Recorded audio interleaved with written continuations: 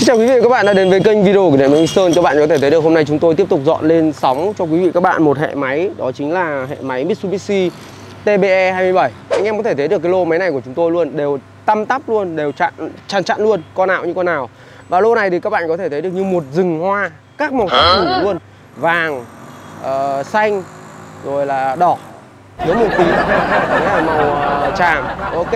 Và các bạn có thể thấy được cái ống cần của nó này. Những cái ống cần zin của nhật để có cái màu trắng có cái màu ờ, dán nhìn rất là xịn sò luôn.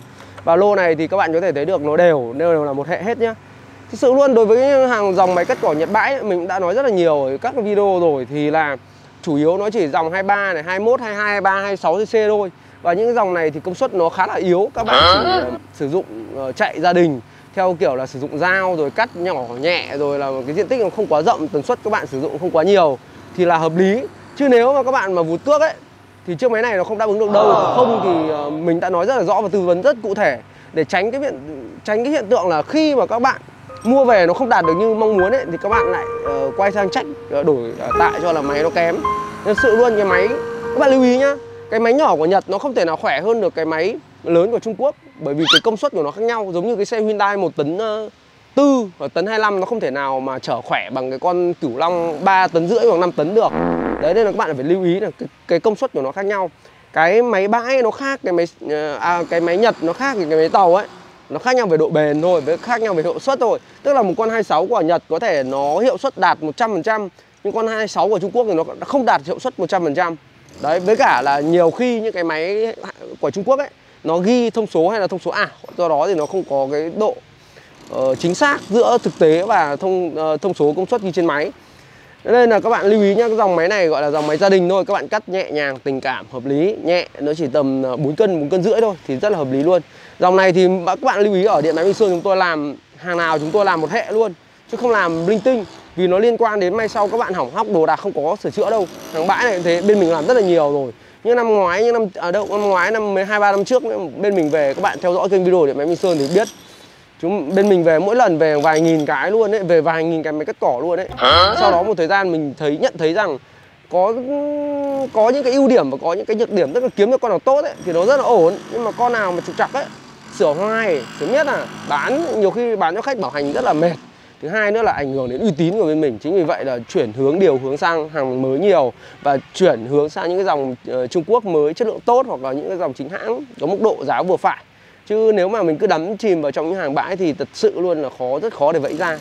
Và cái chất lượng của nó theo mình thấy là hiện tại không những dòng bãi này để vụt cước những dòng công suất lớn ấy, thì rất ít hàng. Những dòng máy nhỏ như thế này thì không vụt được cước. Nên là tuy nhiên là vẫn có một số cái phân khúc người ta sử dụng để cắt cỏ nhỏ cắt dao, rất là hợp lý. Ok, các bạn có thể thấy được cái lô này. Mình chọn rất là đều nhá, và đều là một hệ hết. Tất cả những dòng này đều là Mitsu hết, kể cả các bạn thấy tên là Ryubi nhưng nó đều là Mitsu hết.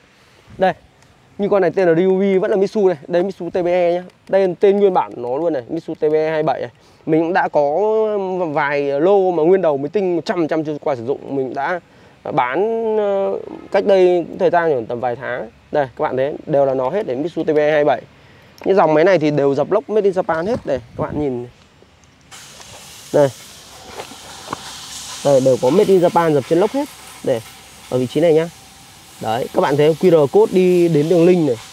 Đường link của nó đây này. Đấy. Makey này, co.gp.product này, gasoline này handing này, đồ cầm tay của nó này.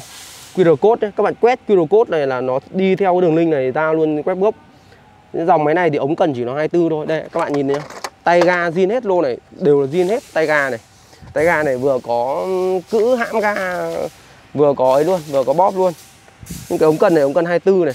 Đây, các bạn có thể thấy được cái tem của nó đây đây là made in Japan này. Đấy. Gasoline uh, engine này Bogobai này, Mitsubishi nhá. Đây, EKM mã của nó là 2630 này. Tất cả đều là Mitsu hết. Con máy này là Mitsu.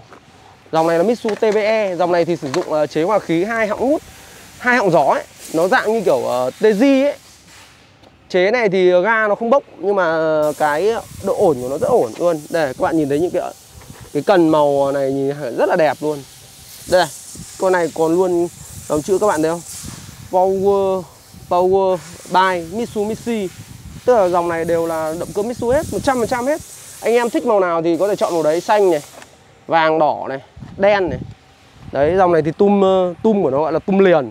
Các bạn chỉ sử dụng cắt cọc thôi không để chuyển sang kiểu phun thuốc phun thiếc được không không chuyển được đâu nhá.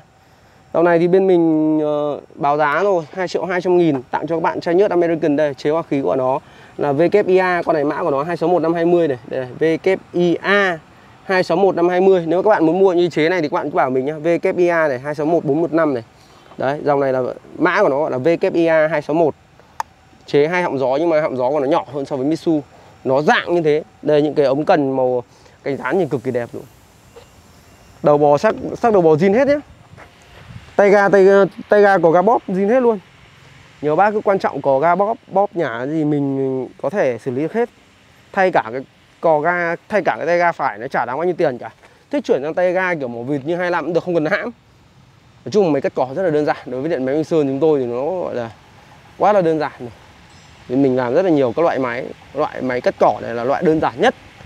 Sau đến máy cưa cũng đơn giản. Sau đến đến những cái dòng, các dòng máy nông ờ, nông nghiệp cơ giới lớn hơn thì nó phức tạp hơn. Rồi. Rồi 2 triệu 200 nghìn.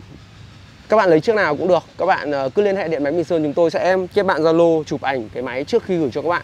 Tặng cho các bạn một chai nhớt American nhá rồi một lần nữa thì cảm ơn. À mà giá đấy bao ship nhỉ?